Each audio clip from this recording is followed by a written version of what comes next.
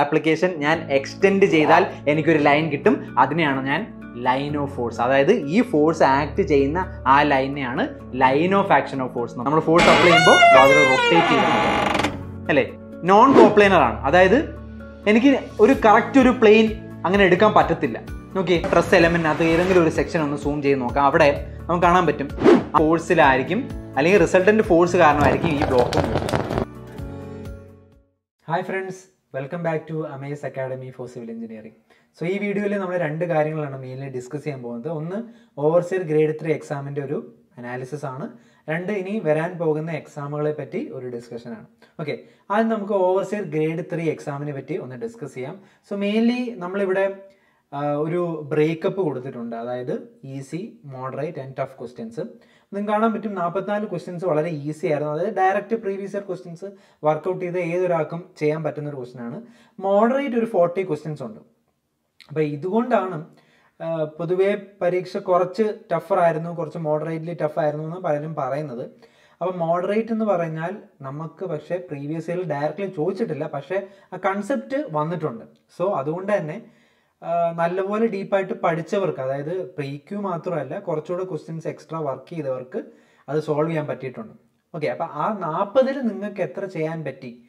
അതിനെയായിരിക്കും ശരിക്കും ഡിപ്പെൻഡ് ചെയ്യുന്നത്. നിങ്ങൾ ലിസ്റ്റിനകത്ത് വരുമോ ഇല്ലയോ എന്നൊക്കെ ശരിക്കും ഡിപ്പെൻഡ് ചെയ്യുന്ന ആ മോഡറേറ്റിൽ നിന്ന് വരുന്ന ആ ക്വസ്റ്റ്യൻസ് ആയിരിക്കും. അപ്പോൾ നാൽപ്പതെണ്ണം ഉണ്ട്. അപ്പോൾ അതിലൊരു മുപ്പതെണ്ണം ഒക്കെ ചെയ്താൽ തന്നെ നല്ലൊരു സ്കോറോട്ട് വരും. അപ്പോൾ ഇതിനകത്തൊരു എയ്റ്റി ഒക്കെ എയ്റ്റി പ്ലസ് ഒക്കെ സ്കോർ വരുന്നവർക്കൊക്കെ ടോപ്പിൽ തന്നെ ടോപ്പ് റാങ്കിൽ തന്നെ വരാം. അതെല്ലാം സെവന്റി എബോവ് ആണെങ്കിലും സേഫ് ആണ്. സിക്സ്റ്റി ടു സെവന്റി ആണ് നമുക്ക് അറിയേണ്ടത്. അപ്പോൾ ഇത് ശരിക്കും അറിയാൻ അറിയാൻ വേണ്ടിയിട്ട് എന്താ ചെയ്യുന്നത് വെച്ചാൽ ഫൈനൽ കീ വരുമ്പോൾ നമുക്ക് നമ്മുടെ ടെലിഗ്രാം സ്റ്റഡി സർക്കിളിൽ നമുക്ക് ഡാറ്റ കളക്ട് ചെയ്യാം. എന്നിട്ട് നമുക്ക് നോക്കാം എത്ര പേർക്ക് മാർക്ക് എങ്ങനെയൊക്കെയാണ് അതിന്റെ മാർക്കിന്റെ ഷെയർ വന്നിരിക്കുന്നത് അപ്പോൾ കുറേ നാളായിട്ട് ഞാൻ പറയാൻ വിട്ടുപോയ ഒരു കാര്യമുണ്ട്. ടെലിഗ്രാം സ്റ്റഡി സർക്കിൾ നിങ്ങളെല്ലാം ജോയിൻ ചെയ്യുക. കാരണം ഈ ചെറിയ ചെറിയ ഇൻഫോർമേഷൻസ് ഉണ്ടല്ലോ. അത് പാസ് ചെയ്യാനൊക്കെ നമ്മൾ പെട്ടെന്ന് ടെലിഗ്രാം സ്റ്റഡി സർക്കിൾ നമ്മുടെ വാട്സാപ്പ് ഗ്രൂപ്പിലൊക്കെയാണ് ഷെയർ ചെയ്യുന്നത്. വാട്സാപ്പ് ഗ്രൂപ്പിന് ഒരു പ്രശ്നം ലിമിറ്റഡ് നമ്പർ ഓഫ് മെമ്പേഴ്സ് അല്ലേ? ഇരുന്നൂറ്റി അമ്പത്തേഴ് മെമ്പേഴ്സിനല്ലേ പറ്റത്തുള്ളൂ. പെട്ടെന്ന് ഫില്ലായി പോവുക. അപ്പം I better Telegram study circle തന്നെയാണ്. അതാകുമ്പോൾ എത്ര പേർക്ക് നമ്മൾ ആഡ് ചെയ്യാൻ പറ്റും? അപ്പോൾ അതിനകത്ത് ഇങ്ങനെ ആഡ് ചെയ്തുകൊണ്ടിരിക്കുക. അപ്പോൾ അതിന്റെ ടെലിഗ്രാം സ്റ്റഡി സർക്കിളിലെ ലിങ്കും ഇനി അതിൽ ക്ലിക്ക് ചെയ്യുമ്പോൾ നിങ്ങൾക്ക് റീഡയറക്റ്റ് ആയില്ലെങ്കിൽ അതിന് ടെലിഗ്രാം നമ്പർ ഞാൻ കമന്റ് ബോക്സിൽ ഇട്ടേക്കാം. അപ്പോൾ അതിനകത്ത് ഒരു ഹായ് അയച്ചാൽ മതി നിങ്ങളെ ആഡ് ചെയ്യും. ഓക്കെ അത് വളരെ ഇമ്പോർട്ടന്റ് ആണ്. ഞാൻ ഒരുപാട് നാളെ അത് പറയാൻ വിട്ടുപോയിട്ട്. കാരണം ഇപ്പം ഇങ്ങനത്തെ ചില ഇൻഫോർമേഷൻസ് ആണെങ്കിലും ഇങ്ങനെ ഡാറ്റ കളക്ഷൻ ആണെങ്കിലും എക്സ്പ്ലനേഷൻ നമ്മൾ ചെറിയ ചെറിയ കാര്യങ്ങൾ പെട്ടെന്ന് കൺവേ ചെയ്യാൻ പറ്റുന്ന ഒരു സോഷ്യൽ മീഡിയയാണ് അപ്പം അങ്ങനെ നിങ്ങൾ ജോയിൻ ചെയ്യട്ടെ. കാരണം ഒരു വീഡിയോ ഉണ്ടാക്കണമെങ്കിൽ ഒരുപാട് ടൈം എടുക്കും. അപ്പം അതിനെക്കാട്ടി നല്ലത് പെട്ടെന്ന് നമുക്ക് നിങ്ങളോട്ട് എത്തണമെങ്കിൽ ടെലിഗ്രാം സ്റ്റഡി സർക്കിളൊക്കെ ഉണ്ടെങ്കിൽ അതിൽ ടെലിഗ്രാം ആപ്പ് ഉണ്ടെങ്കിൽ നിങ്ങൾ പെട്ടെന്ന് പെട്ടെന്ന് ഇൻഫോർമേഷൻസ് പാസ് ചെയ്യാൻ പറ്റും. ഇപ്പോൾ ജോബ് നോട്ടിഫിക്കേഷൻ ആണെങ്കിൽ എല്ലാം നമ്മൾ ഈ ടെലിഗ്രാം ഗ്രൂപ്പിനകത്ത് ഇടുന്നുണ്ട്. വാട്സാപ്പ് ഗ്രൂപ്പിൽ ഇടുന്നുണ്ട് പക്ഷെ അതെല്ലാം പെട്ടെന്ന് ഫില്ലായി പോകും. അതുകൊണ്ടാണ് ഞാൻ ടെലിഗ്രാമിലോട്ട് ജോയിൻ ചെയ്യണമെന്ന് പറയുന്നത്. ഓക്കെ അപ്പോൾ ഈ ക്വസ്റ്റ്യൻ പേപ്പർ ഞാൻ ലൈക്ക് ഡീറ്റെയിൽഡ് ആയിട്ട് ഓരോ ക്വസ്റ്റ്യൻസും പറയുന്നില്ല. ആൻസേഴ്സ് ഇത് ഡീറ്റെയിൽഡ് പി ഡി എഫ് ഈ ഇപ്പോൾ ഞാൻ കാണിക്കുന്ന പ്രസന്റേഷൻ പി ഡി എഫ് ആയിട്ട് നമ്മുടെ ഗ്രൂപ്പിനകത്ത് ഇട്ടേക്കാം. ഓക്കെ ആപ്പിനകത്ത് ഇട്ടേക്കാം ഗ്രൂപ്പിനകത്ത് ഇട്ടേക്കാം. ആപ്പിനകത്ത് നമുക്ക് ഇങ്ങനത്തെയൊക്കെ നമ്മൾ എല്ലാ എക്സാമിന്റെയും ഡീറ്റെയിൽഡ് കീ ചെയ്യാറുണ്ട്. അപ്പം എയുടെ ആക്ച്വലി ചെയ്തായിരുന്നു? അതിന്റെ വീഡിയോ ചെയ്തിട്ടില്ല. അത് അന്ന് ഗ്രേഡ് വണ്ണിന്റെ കീയിൽ ഇച്ചിരി പ്രശ്നങ്ങൾ വന്നുകൊണ്ടാണ് എ പെട്ടെന്ന് ചെയ്യാൻ മീൻസ് ഇടാഞ്ഞത്. അപ്പോൾ അതും ചെയ്തു വെച്ചിട്ടുണ്ട്. ഉടനെ അതിന്റെ വീഡിയോയും അതിന്റെ പി ഡി എഫും എല്ലാം നമ്മുടെ ആപ്പിനകത്ത് സ്റ്റഡി മെറ്റീരിയൽസ് എന്ന് പറഞ്ഞൊരു ഓപ്ഷൻ ഉണ്ട്. അതിനകത്ത് ഇട്ടിട്ടുണ്ട്. ഇതിന്റെ ഒരുപാട് ക്വസ്റ്റ്യൻസ് നിമി ടെക്സ്റ്റ് ബുക്കിൽ നിന്ന് വന്നിട്ടുണ്ട്. അപ്പോൾ അതിന്റെ പി ഡി എഫ്സും ഇന്നലെ ഇട്ടിട്ടുണ്ടായിരുന്നു സ്റ്റഡി മെറ്റീരിയൽസിനകത്ത് സോ ആപ്പ് ഡൗൺലോഡ് ചെയ്തിട്ട് അതിനകത്ത് സ്റ്റഡി മെറ്റീരിയൽസ് ഹോം പേജിൽ തന്നെ ലെഫ്റ്റ് ടോപ്പ് കോർണറിൽ ഒരു സർക്കിൾ ഉണ്ട് ഒരു ഓപ്ഷൻ അത് ക്ലിക്ക് ചെയ്യുമ്പോൾ നിങ്ങൾക്ക് സ്റ്റഡി മെറ്റീരിയൽസ് ഓപ്ഷൻ കിട്ടും. അതിൽ നിന്ന് നിങ്ങൾക്ക് ഇതെല്ലാം അതായത് ഇതുവരെ നടന്ന എക്സാംസ് ഏകദേശം നമ്മൾ കോച്ചിങ് സ്റ്റാർട്ട് ചെയ്തിട്ട് ആ ഒരു പീരീഡിൽ നടന്ന എക്സാംസിന്റെയൊക്കെ ഡീറ്റെയിൽഡ് കീ അപ്പോൾ ഇങ്ങനെ നമ്മൾ ഡീറ്റെയിൽഡ് കീ ഉണ്ടാക്കുമ്പോൾ വളരെ നിങ്ങൾക്ക് ഭയങ്കര യൂസ്ഫുള്ളാണ് അടുത്ത എക്സാമിന് പ്രിപ്പയർ ചെയ്യുമ്പോൾ ജസ്റ്റ് വായിച്ചു നോക്കിയാൽ മതി. അതുകൊണ്ടാണ് ഞങ്ങൾ ഇത്രയും എഫേർട്ട് എടുത്ത് ഡീറ്റെയിൽഡ് കീ ഉണ്ടാക്കുന്നത് വിത്ത് റെഫറൻസും കാര്യങ്ങളൊക്കെ. അപ്പോൾ ഇതിനകത്ത് നിമിയുടെ റെഫറൻസുകളും കാര്യങ്ങളെല്ലാം നമ്മൾ കൊടുത്തിട്ടുണ്ട്. അപ്പം ജസ്റ്റ് വായിക്കുക ഞാൻ എല്ലാം പറയുന്നില്ല. പക്ഷേ ഇതിനകത്ത് നമുക്ക് നിങ്ങൾ അറിയേണ്ട ഒരു കാര്യം ആർ സി സിയുടെ ഒരു ക്വസ്റ്റ്യൻ എം ട്വന്റി ആണ് ആൻസർ കേട്ടോ. എം ഫിഫ്റ്റീൻ ആണ് പ്രൊഫഷണൽ കീയിൽ കൊടുത്തിരിക്കുന്നത് അപ്പോൾ അത് നോട്ട് ചെയ്യുക. ചലഞ്ച് ചെയ്തിട്ടുണ്ടാവുമല്ലോ നിങ്ങളത്. അപ്പം അത് നോട്ട് ചെയ്യുക. പിന്നെ ടൈൽസിന്റെ ഒരു ക്വസ്റ്റ്യൻ അതായത് പോട്ട് ടൈൽസ് തന്നെയാണ് ആൻസർ വന്നത് ആൻസർ വരേണ്ടത്. സിയാൽക്കോട്ടാണ് തോന്നുന്നു ആൻസർ കൊടുത്തേക്കുന്നത് അപ്പോൾ അതും നിങ്ങൾ നോക്കുക. പിന്നെ റാപ്പിഡ് ഹാർഡ്നസ് സിമെന്റിന്റെ ഒരു ക്വസ്റ്റ്യൻ പലരും ഡൗട്ടായിട്ട് ചോദിച്ചായിരുന്നു. അതിപ്പം സിലിക്കേ ലൈം കണ്ടിട്ടുണ്ട്. രണ്ടും സ്ട്രെങ്ത് ഇൻക്രീസ് ചെയ്യാനാണ് നമ്മൾ യൂസ് ചെയ്യുന്നത്. അപ്പോൾ ലൈം ആണെന്ന് തോന്നുന്നു ഈ പ്രീവിയസ് ഇയറിലൊക്കെ ലൈം പി എസ് സിക്ക് കൊടുത്തിട്ടുണ്ടെന്ന് തോന്നുന്നു. അപ്പം അങ്ങനത്തെ കേസിൽ നമുക്ക് ലൈൻ മാത്രമേ ഫോളോ ചെയ്യാൻ ഫോളോ ചെയ്യാൻ പറ്റത്തുള്ളൂ. ഓക്കെ അപ്പം അങ്ങനത്തെ ഈ ഞാൻ പണ്ടും പറഞ്ഞിട്ടുള്ളൂ ഫിഫ്റ്റി ഫിഫ്റ്റി ചാൻസ് ഉള്ള ക്വസ്റ്റ്യൻസ് നമ്മൾ പി എസ് സിയുടെ തന്നെ ഫോളോ ചെയ്യുന്നതായിരിക്കും ബെറ്റർ അപ്പം അത് ചലഞ്ച് ചെയ്ത് വെറുതെ കോളോ ആക്കാൻ നിൽക്കേണ്ട. അപ്പം അങ്ങനത്തെ ഒക്കെ ക്വസ്റ്റ്യൻസ് നമുക്ക് അത് തന്നെ ഫോളോ ചെയ്യാം. പി എസ് സി പറയുന്നത് തന്നെ ഫോളോ ചെയ്യാം. ഓക്കെ അപ്പം ഇത് ഞാൻ ഡീറ്റെയിൽ ആയിട്ട് പറയുന്നില്ല പറഞ്ഞ ഒരു രണ്ട് മണിക്കൂർ വലിയ വീഡിയോ ആവും. ഇത് ഈ പി ഡി എഫ് അതുപോലെ തന്നെ ഇട്ടേക്കാം. എല്ലാം നമ്മൾ നിമിയുടെ ഉൾപ്പെടെ എല്ലാം എസ്റ്റിമേഷൻ ഒക്കെ ഡയറക്റ്റ് നിമിയിൽ നിന്നുള്ള ചോദ്യങ്ങളുണ്ടായിരുന്നു ടെക്സ്റ്റ് ബുക്കിൽ നിന്നുള്ള. അപ്പോൾ അതെല്ലാം എല്ലാ സ്ക്രീൻഷോട്ടും എല്ലാം ഉണ്ട് പെർഫെക്റ്റ് ആയിട്ട് ചെയ്തിട്ടുണ്ട്. അപ്പോൾ ഇത് ഷെയർ ചെയ്തേക്കാം ഓക്കെ അപ്പോൾ ഇനി നമുക്ക് അപ്കമിങ് എക്സാംസ് അത് വളരെ ഇമ്പോർട്ടന്റ് ആണ്. കാരണം നമുക്ക് ഇനി ഈ ഒരു ക്വസ്റ്റ്യൻ പേപ്പറിനകത്ത് എന്തെങ്കിലും ഡൗട്ട് ഉണ്ടെങ്കിൽ ഈ വീഡിയോയുടെ കമന്റ് ബോക്സിൽ ഇട്ടാൽ മതി. നമ്മൾ റിപ്ലൈ ചെയ്തേക്കാം.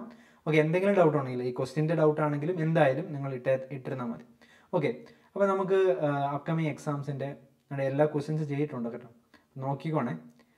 അപ്പം അപ്കമിങ് എക്സാംസ് ഏതൊക്കെയാണെന്ന് നോക്കിയാൽ K W grade one already apply ചെയ്തിട്ടുണ്ടായിരുന്നു. എനിക്ക് രണ്ടായിരത്തി ഇരുപതിലായിരുന്നു നോട്ടിഫിക്കേഷൻ വന്നിട്ടുള്ളത്. അപ്പം ആക്ച്വലി ഈ വർഷം വരേണ്ടതായിരുന്നു. പക്ഷേ മേ ബി കോവിഡ് കാരണമായിരിക്കും ഇങ്ങനെ പോസ്റ്റ്പോൺ ആയി പോയത്. അപ്പോൾ ഫെബ്രുവരി വരെ സിവിൽ എക്സാംസ് ഒന്നും ഇല്ല. കലണ്ടർ വന്നു. അപ്പം മാർച്ചിൽ നമുക്ക് എക്സ്പെക്ട് ചെയ്യാം. അപ്പം കെ ഡബ്ല്യു ഗ്രേഡ് വണ്ണും പൊല്യൂഷൻ കൺട്രോൾ ബോർഡിന്റെ ഈ എക്സാം ആയിരിക്കും ആദ്യം ആദ്യത്തെ സെറ്റ് ഓഫ് എക്സാംസ് ആയിട്ട് വരാൻ നമ്മൾ എക്സ്പെക്ട് ചെയ്യുന്നത്. അപ്പം ഗ്രേഡ് വൺ എന്ന് പറയുമ്പോൾ diploma and B tech both can write the exam and pollution control A exam ആണ് അസിസ്റ്റന്റിന്റെ എക്സാം ഇതിന്റെ രണ്ടിന്റെ പ്രത്യേകത സിലബസ് വന്നിട്ടില്ല. അപ്പോൾ അതൊരു വലിയ പ്രശ്നമാണ്.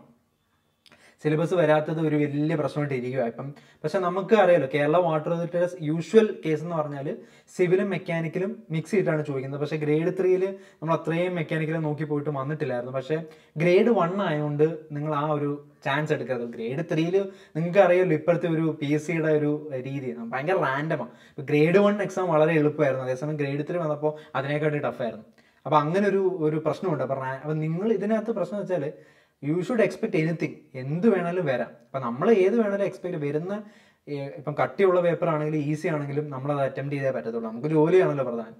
അപ്പോൾ ഏറ്റവും നല്ല മാർക്കോടെ നമുക്ക് സ്കോർ ചെയ്യാൻ പറ്റില്ല നമുക്ക് ടോപ്പ് റാങ്കിൽ വന്നിട്ട് പെട്ടെന്ന് അഡ്വൈസ് കിട്ടത്തുള്ളൂ. അല്ലെ എങ്ങനെയെങ്കിലും ലിസ്റ്റിൽ കയറിയിട്ടൊന്നും കാര്യമില്ല. ഫ്രാങ്ക്ലി പറയാലോ. കാരണം അഡ്വൈസ് വരുന്നതും നല്ല ടൈം എടുക്കുന്നുണ്ട്. അപ്പം നമ്മൾ ടോപ്പ് റാങ്ക് തന്നെ നിങ്ങൾ എയിം ചെയ്യുക. അതുകൊണ്ടാണ് അപ്കമിങ് എക്സാംസ് ഏതൊക്കെ ഉണ്ടെന്ന് നിങ്ങൾ കറക്റ്റായിട്ട് നോട്ട് ചെയ്ത് വെച്ചേക്കണം. അപ്പോൾ അതിനനുസരിച്ച് വേണം നിങ്ങൾ നിങ്ങളുടെ സ്റ്റഡീനെ ഓറിയന്റ് ചെയ്യാൻ വേണ്ടിയിട്ട്. അപ്പം ഇപ്പം സിലബസ് വരാത്ത സ്ഥിതിക്ക് കെ ഡബ്ല്യു ഗ്രേഡ് വൺ എന്തായാലും സിവിലും മെക്കോ ആണ്. നിങ്ങൾക്ക് അറിയാലോ grade one level grade one level എന്ന് പറഞ്ഞാലും നമ്മൾ ഈ സിലബസ് തന്നെ ഫോളോ ചെയ്താൽ മതി. വലിയ ന്യൂമറിക്കൽസ് ഒന്നും അധികം ഡീപ്പായിട്ട് പോകണ്ട. പക്ഷേ തിയറി എല്ലാം അതുപോലെ തന്നെ ചെയ്യണം. അസിസ്റ്റന്റ് എഞ്ചിനീയർ എക്സാം നമ്മൾ പൊല്യൂഷൻ കൺട്രോൾ ബോർഡ് അതും ഇതുവരെ വന്നിട്ടില്ല. പക്ഷേ നമുക്ക് കിട്ടിയ വിവരം അനുസരിച്ച് എൻവയോൺമെന്റ് എഞ്ചിനീയറിംഗ് ഭയങ്കര ഇമ്പോർട്ടന്റ് ആണ്. ഫ്ലൂയിഡ് മെക്കാനിക്സ് ഭയങ്കര ഇമ്പോർട്ടന്റ് ആണ്. അതുപോലെ കെമിക്കൽ വരാൻ ചാൻസ് ഉണ്ട്. കാരണം കെമിക്കലുകാർക്കും ഈ എക്സാം അപ്ലൈ ചെയ്യാൻ പറ്റിയിട്ടുണ്ട്.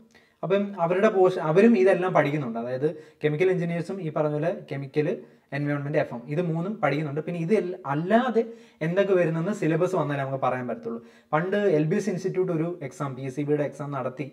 പക്ഷെ അന്ന് ഈ എക്സാം നടത്തി പിന്നെയാണ് കോർട്ടിലൊക്കെ പോയി ഒരുപാട് ഡിലേ വന്നു. വിവാദം ഉണ്ടായി ഒരുപാട് ഡിലേ വന്നു. അതുകൊണ്ടാണ് ഇത് കുറേ ഇത് ആദ്യമായിട്ടാണ് പി എസ് സി ഇത് നടത്തുന്നത്.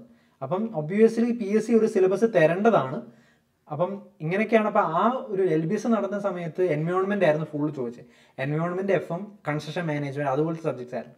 അപ്പം മേ ബി ഇത് റിവൈസ് ചെയ്യും. അപ്പം റിവൈസ് ചെയ്യാനാണ് ചാൻസ് കൂടുതൽ. എന്തായാലും നമുക്ക് അറിഞ്ഞുകൂടാം. വരുമ്പോൾ നോക്കാം. പക്ഷേ ഇപ്പം നിങ്ങളുടെ മനസ്സിനകത്ത് ഈ മൂന്ന് സബ്ജക്ട്സ് നോക്കാം. പ്രിപ്പയർ ചെയ്യുന്നവർ ആ ഒരു ഓറിയന്റേഷൻ പ്രിപ്പയർ ചെയ്യുക. ബാക്കി സിലബസ് വന്നിട്ട് നമുക്ക് നോക്കാം.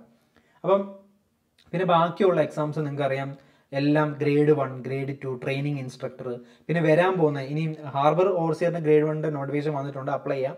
മറക്കരുത്. പിന്നെ ടൗൺ പ്ലാനിങ് ഓവർസിയറിന്റെയും ടൗൺ പ്ലാനിങ് എയിന്റെയും അസിസ്റ്റന്റ് അസിസ്റ്റന്റ് ടൗൺ പ്ലാനറിന്റെയും നോട്ടിഫിക്കേഷൻ ഉടനെ വരും.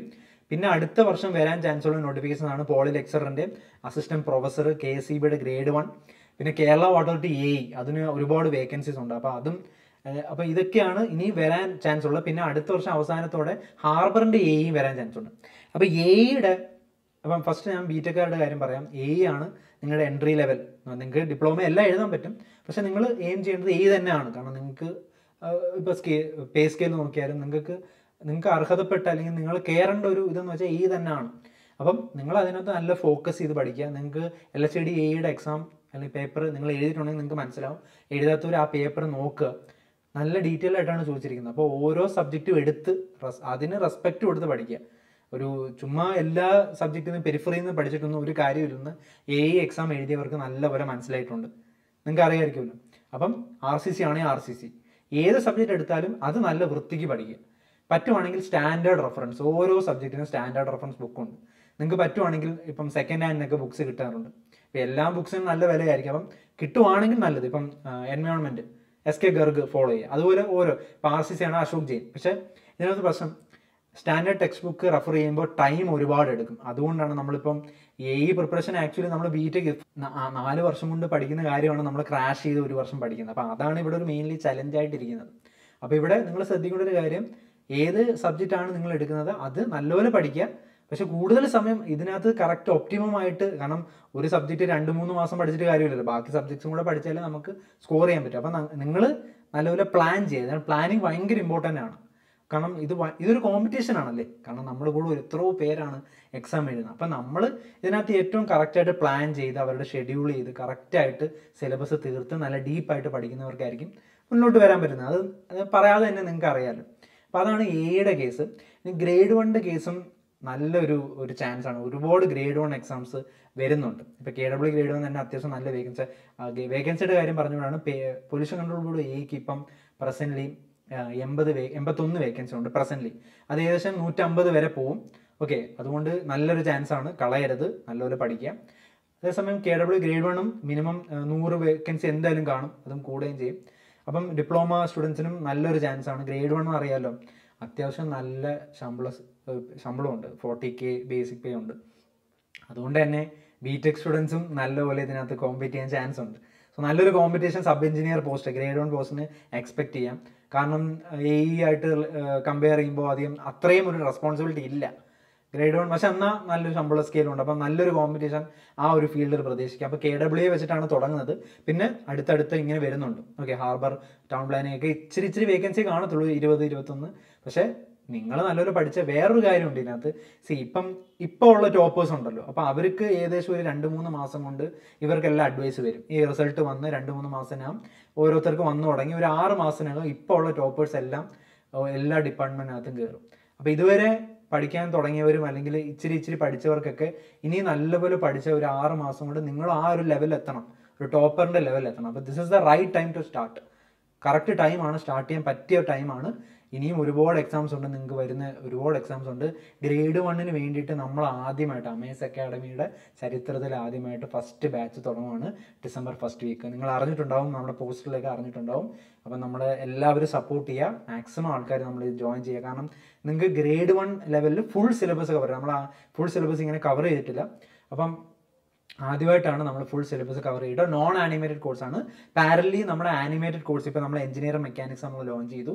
അതും എ പഠിക്കുന്നവരൊക്കെ വേണ്ടിയിട്ടാണ് അത് ഭയങ്കരമായിട്ട് നമ്മൾ ചെയ്യുന്നത്. കാരണം നല്ല ഡീപ്പായിട്ട് നല്ല വി എഫ് എക്സും ആനിമേഷനൊക്കെ വെച്ചിട്ട്. കാരണം ആ ഒരു സബ്ജക്റ്റ് നിങ്ങൾക്ക് അറിയത്തില്ലെങ്കിൽ നമ്മൾ അത്രയും കിടിലമായിട്ട് പഠിപ്പിക്കുമ്പോൾ പിന്നെ അതിന് മുകളിൽ വേറൊന്നും ഇല്ല. നിങ്ങൾക്ക് അത് പഠിച്ച എഞ്ചിനീയറിംഗ് മെക്കാനിക്സ് ഒക്കെ പക്കയായിട്ടാണ് നമ്മൾ അത് പഠിപ്പിച്ചിരിക്കുന്നത്. ഏത് സബ്ജക്റ്റ് ആണെങ്കിലും. ആനിമേറ്റഡ് കോഴ്സ് എന്ന് പറയുമ്പോൾ പിന്നെ അതിന് മേളൊരു കോഴ്സ് പിന്നെ വേറെ ഇല്ല. കാരണം നമ്മൾ അത്രയും ടൈം എടുത്ത് ഓരോ ബുക്ക് റെഫർ ചെയ്തിട്ടാണ് ആ കോഴ്സ് ഡിസൈൻ ചെയ്യുന്നത്. അപ്പോൾ ഇനി ഫ്യൂച്ചറിൽ ഇത് കഴിഞ്ഞാൽ ഫ്ലൂയിഡ് മെക്കാനിക്സും എഞ്ചിനീയറിംഗ് സോറി എൻവയോൺമെന്റ് എഞ്ചിനീയറിംഗ് ഒക്കെ പാരലി ഇതിന്റെ കൂടെ ഇടും. അതൊക്കെ ആനിമേറ്റഡ് കോഴ്സാണ് നമ്മളിവിടെ ഗ്രേഡ് വണ്ണിന് വേണ്ടിയിട്ട് നോൺ ആനിമേറ്റഡ് ആയിട്ടുള്ള ഫുൾ സിലബസ് കവർ ചെയ്തിട്ടുള്ളത് നമ്മൾ ഒരു മൂന്ന് മാസം കൊണ്ട് ഫുൾ പോർഷൻസ് കവർ ചെയ്തിട്ട് റിവിഷൻ സ്റ്റാർട്ട് ചെയ്യും. എട്ട് മാസത്തെ കോഴ്സാണ് അപ്പോൾ എന്തായാലും ഈ സ്ക്രീനിൽ കാണിച്ചിരിക്കുന്ന വാട്സാപ്പ് നമ്പർ നിങ്ങൾക്ക് ജോയിൻ ചെയ്യാൻ താല്പര്യമുണ്ടെങ്കിൽ വാട്സാപ്പ് നമ്പറിൽ ഹായ് അയച്ചിട്ട് ചോദിച്ചാൽ മതി. അതിന്റെ ഡീറ്റെയിൽസ് ഒക്കെ പറഞ്ഞുതരാം. ഓക്കെ അപ്പം ഇത്രയാണ് വരാൻ പോകുന്ന എക്സാംസ് അപ്പം ഞാൻ പറഞ്ഞ പോലെ ഇതിനകത്ത് മെയിൻലി ഇനി ഐ ടി ഐന് എനിക്കൊന്ന് കെ എൽ ഡി സി ഓവർസിൽ ഗ്രേഡ് ടു എക്സാം കൂടെ ഉണ്ട്. അപ്പോൾ കമ്പാരിറ്റീവ്ലി ഐ ടി ഐ സ്റ്റുഡൻസിന് ഇപ്പം കുറച്ചുകൂടെ എക്സാംസ് കുറവാണ്. ബാക്കിയുള്ളവരെ ആയിട്ട് കമ്പയർ ചെയ്യുമ്പോൾ. അപ്പം നിങ്ങൾ ഇതിനകത്ത് നോക്കേണ്ടത് ഏതൊക്കെ എക്സാംസ് ആണ് ഇനി വരാനുള്ളത്? ഒരു ചാർട്ട് ഒരു കറക്റ്റ് ടൈം ടേബിൾ പ്രിപ്പയർ ചെയ്യുക. ഏതൊക്കെ സബ്ജക്ട്സിനാണ് നിങ്ങൾ ഇമ്പോർട്ടൻസ് കൊടുക്കേണ്ടത്? നിങ്ങളുടെ വീക്ക് ഏരിയാസ് ഫസ്റ്റ് ഞാൻ കഴിഞ്ഞ വീഡിയോയിലും പറഞ്ഞാണ് ഓരോരുത്തർക്കും ഓരോ വീക്ക് ഏരിയാസ് ഉണ്ട്. അപ്പോൾ നിങ്ങളത് ഐഡന്റിഫൈ ചെയ്യുക. ഐഡന്റിഫൈ ചെയ്തിട്ട് പഠിച്ചു തുടങ്ങുക പഠിച്ച് തുടങ്ങിയിട്ട് തിയറിയിൽ ഒരുപാട് ടൈം സ്പെൻഡ് ചെയ്യരുത്. തിയറി ഒരു ബേസിക് ആയിട്ടുള്ള ഒരു സ്ട്രക്ചർ ബിൽഡ് ചെയ്തിട്ട് നിങ്ങളുടെ നോട്ട്സ് പ്രിപ്പയർ ചെയ്യുക. എന്നിട്ട് മാക്സിമം ക്വസ്റ്റൻസ് വർക്കൗട്ട് ചെയ്യുക. ഞാൻ എന്തായാലും ഗ്രേഡ് വണ്ണിൽ നമ്മുടെ കോഴ്സിന് വേണ്ടിയിട്ട് ഒരു ഓറിയന്റേഷൻ ക്ലാസ് ഇടുന്നുണ്ട്. അപ്പോൾ അതിനകത്ത് വളരെ ഡീറ്റെയിൽ ആയിട്ട് എങ്ങനെയാണ് പഠിക്കേണ്ടതും കാര്യങ്ങളൊക്കെ ഇടാം. ഓക്കെ അപ്പോൾ എന്തെങ്കിലും ഡൗട്ട്സ് ഉണ്ടെങ്കിൽ വീഡിയോയുടെ കമന്റ് ബോക്സിൽ ഇടുക. All the best thank